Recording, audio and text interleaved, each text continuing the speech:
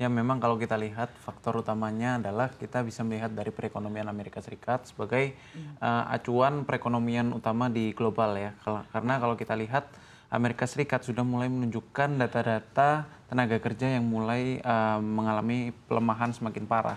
Karena kalau lihat, kita lihat data pengajuan tunjangan pengangguran mengalami kenaikan sebanyak sebesar 13.000 menjadi 231.000.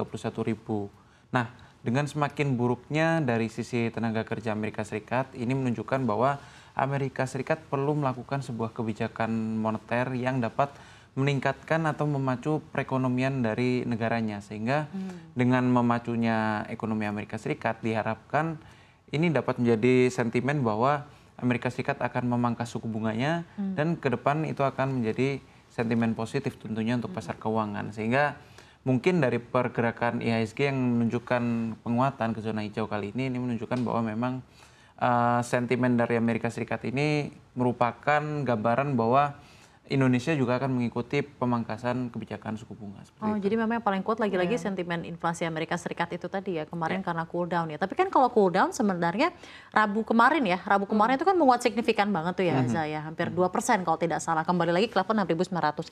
Namun berapa berapa dua hari belakangan ini uh, sepertinya geraknya tertahan gitu dan melemah. Apakah ini aksi profit taking semata atau bagaimana? Ini hmm. untuk terkait rupiah berarti ya? Terkait atau dengan IHSG. IHSG. Hmm. Kalau terkait dengan IHSG mungkin uh, salah satu faktornya memang karena faktor utama kalau kita lihat secara apa makroekonomi memang pergerakan dari kebijakan moneter itu akan menjadi faktor penggerak dari uh, pelaku pasar tentunya karena pelaku pasar juga akan melihat uh, kebijakan ini dan mereka harus bertindak terlebih dahulu hmm. karena investor juga tidak mau ketinggalan kereta lah istilahnya jadi mereka harus segera untuk mengambil posisi saat ini uh, sedangkan diharapkan dengan nantinya adanya pemangkasan suku bunga, perekonomian dapat melesat, dan biasanya ketika memang perekonomian sudah menunjukkan pelesatan, biasanya pasar keuangan memang sudah bertindak terlebih dahulu, sehingga ini bisa menjadi sentimen positif untuk pelaku pasar yang tidak mau ketinggalan kereta lah istilahnya. Hmm. Namun di sisi lain, kita perlu perhatikan bahwa memang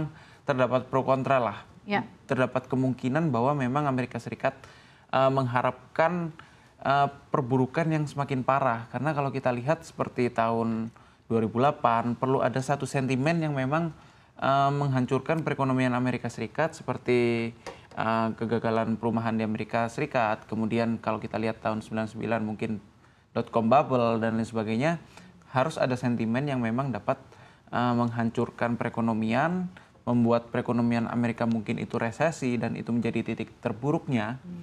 dan di situlah uh, kebijakan dari Amerika Serikat akan memulai memangkas suku bunganya hmm. dan itu menjadi titik terlemah dan titik terbaik untuk investasi saat itu. Oke, okay. oke, okay, menarik. Tapi kalau misalkan kita lihat kan pekan depan ada akan ada BI rate, akan ada rilis dari BI rate. Ini seperti apa sih ekspektasi untuk pasar dalam negeri sendiri untuk menilai kebijakan yang dikeluarkan oleh Bank Indonesia, Mas Reza?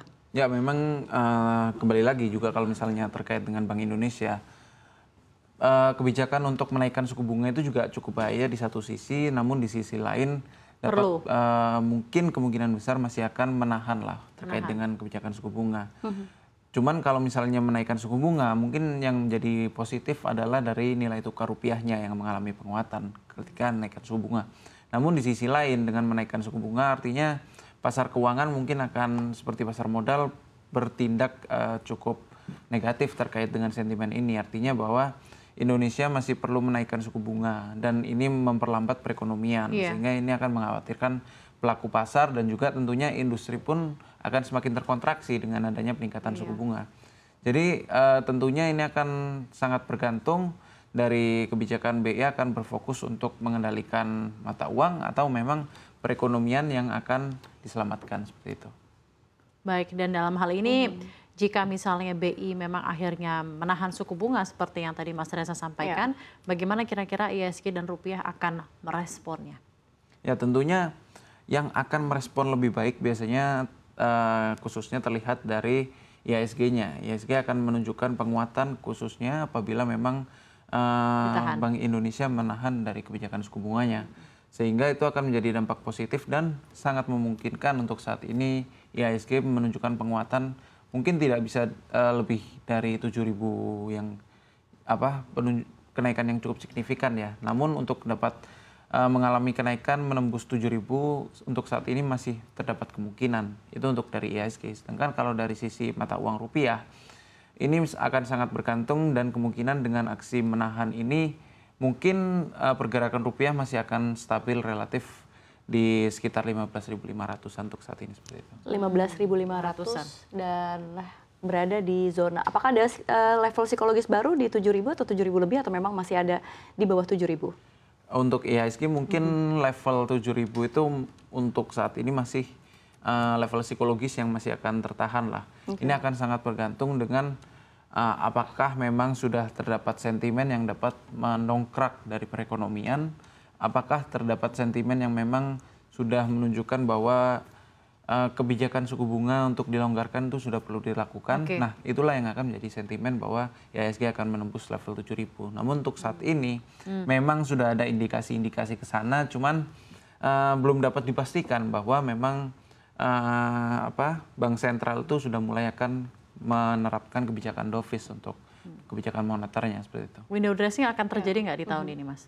Ya kalau window dressing itu akan sangat bergantung. Mungkin harus ada sentimen juga yang akan menggerakkan. Kalau kita lihat nggak cuman window dressing dan biasanya window dressing di Indonesia sendiri juga nggak terlalu berdampak signifikan karena hmm. uh, mekanisme pelaku pasar di Indonesia itu cukup berbeda kalau dibandingkan dengan Amerika Serikat. Karena okay. kalau mungkin kita lihat di Amerika Serikat mungkin memiliki libur yang jauh lebih panjang untuk uh, di masa-masa window dressing nanti, sedangkan di Indonesia uh, tidak begitu karena kita uh, memiliki jadwal libur yang cukup berbeda dengan Amerika Serikat. Nah kita lihat dalam beberapa ya. hari terakhir ini kemarin saya ingat sekali di Rabu rupiah itu kembali menembus level 15.400 15.500-an di levelnya mm -hmm. sekarang. Bahkan kemarin sempat uh, terkuatnya itu di 15.460 atau 430 gitu. Kira-kira Rabu lalu merespon dari inflasi Amerika Serikat yang cooling down mm -hmm. ya. Nah, sekarang kan di 15.490 di perdagangan mm -hmm. intraday hari ini. Sebenarnya kan uh, ini juga sebenarnya sudah cukup terselamatkan karena kita ketahui tiga minggu belakangan, tiga minggu lalu itu tuh sempat bikin khawatir dan ketar-ketir hampir ke level 16.000 mm -hmm. gitu ya. Nah, dalam hal ini bagaimana Anda menakar pergerakan rupiah ke depannya jika benar nanti BI akhirnya menahan suku bunga suku. dan mungkin ekspektasinya juga the Federal Reserve akan higher for longer tapi suku bunga masih akan tetap ditahan. Apakah bisa nih rupiah menguat ke level-level yang didambakan seperti 15.400 atau mungkin 15.300 ke bawah? Ya itu mungkin akan sangat sulit untuk rupiah saat ini untuk uh, dapat menguat lebih kuat lagi lah hingga menguat lebih dari 15.500 bahkan hmm uh, menyentuh level 14.000 untuk saat ini akan cukup sulit, terutama oh. sentimen yang dapat memungkinkan terjadinya penguatan untuk rupiah.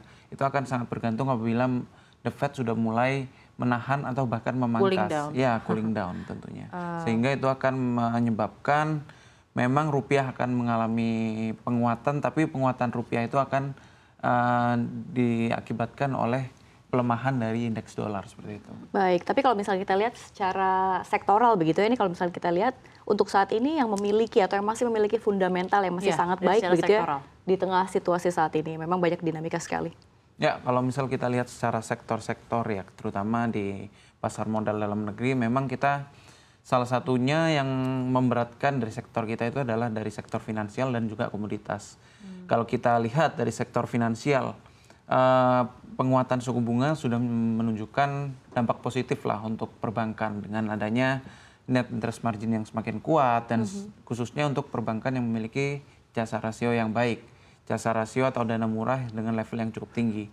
Sedangkan uh, kalau kita lihat dari sektor komoditas ini sudah menunjukkan mulai adanya pelemahan diiringi dengan harga komoditas yang juga mengalami pelemahan seperti batu bara yang menjadi pemberat dan juga sektor oil and gas kita lihat juga mengalami pelemahan hingga 5% kan. Uh -huh. Nah, dengan sentimen-sentimen ini tentunya ini akan menjadi uh, dampak positif ke depannya untuk IHSG khususnya untuk sektor transportasi, transportasi untuk komoditas. Karena kalau kita lihat uh, sektor transportasi komoditas biasanya mengalami lagging atau keterlambatan. Ketika uh, harga komoditas sedang tinggi-tingginya, biasanya rate untuk sewa perkapalan itu belum mengalami kenaikan dan mereka akan mengalami kenaikan ketika memang dari jumlah volume pengiriman itu semakin kencang sehingga uh, harga dari rate itu juga akan mengalami kenaikan dan volume akan lebih dikencangkan itu akan dilakukan ketika harga sudah mulai mengalami penurunan karena hmm. ketika harga mengalami penurunan namun tetap masih di level tinggi biasanya perusahaan akan berusaha untuk dapat menghasilkan kinerja revenue yang cukup tinggi dan salah satunya teknik untuk mempertahankan revenue itu melalui dengan mempertahankan uh, apa dari volume yang ditingkatkan seperti itu.